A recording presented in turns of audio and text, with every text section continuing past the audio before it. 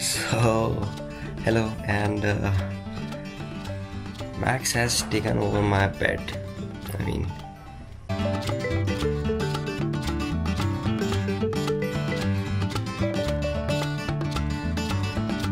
this is me at one corner, and rest of the bed is for Max.